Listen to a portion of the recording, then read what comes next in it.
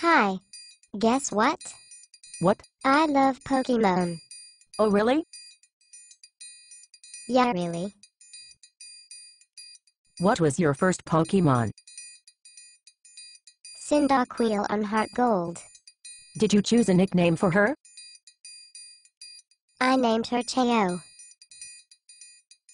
Oh, like Chiyo-chan from Azumanga Daioh? Yeah. And just a little while ago Cheo evolved into Quilava. Have you caught them all yet? No. I caught about 20 or so. I have three badges too. Pokemon is addicting isn't it? Of course. I play it every day. Maybe we should battle each other sometime.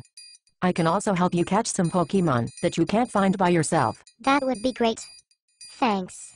Oh, and one more thing, Mud. Kip. Mud. Kip.